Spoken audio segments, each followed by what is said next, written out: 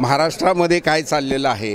याच्यापेक्षा इथं गावातल्या गाव पातळीवरती गावाचा विकास झाला पाहिजे.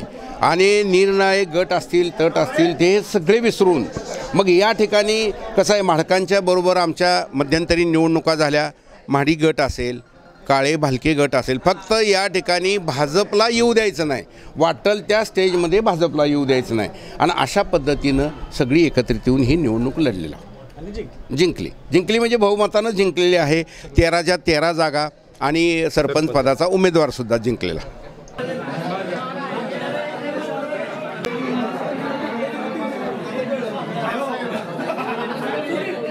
खरं तर वैद्यकीय क्षेत्रात आम्ही काम करत असताना समाजसेवा करत होतो.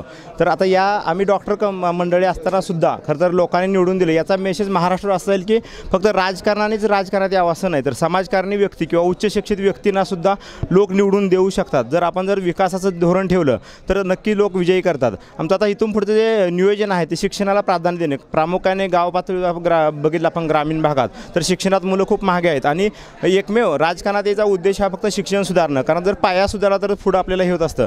एखादं वडाचं झाड वगैरे सगळीकडे पसरलं असतं. तसं शिक्षणात जर आपण योग्य तर शिक्षण दिलं तर ती मुलं आहेत ती सगळीकडे पसरू शकतात आणि त्याचा फायदा गावाला खूप होऊ शकतो. दुसरी गोष्ट गावात बऱ्यापैकी आजपर्यंत कलह निर्माण निर्माण करण्याचं प्रमाण खूप होतं. तर आता यापुढे गावामध्ये दोन्ही समाज असतील किंवा वेगळे समाज असतील किंवा वेगळ्या पार्ट्या असतील त्यांच्यामध्ये एकोपा निर्माण करण्याचा प्रयत्न करून आम्ही पुढचं जे काय आम्ही ध्येय धोरणं ठेवलेली आहेत जो आम्ही जाहीरनामा प्रसिद्ध केला आहेत त्या पावलावर पाऊल टाकेन आणि जास्तीत जास्त कामे आम्ही करण्याचा प्रयत्न करेन पुढील यायच्या पाच वर्षामध्ये हां?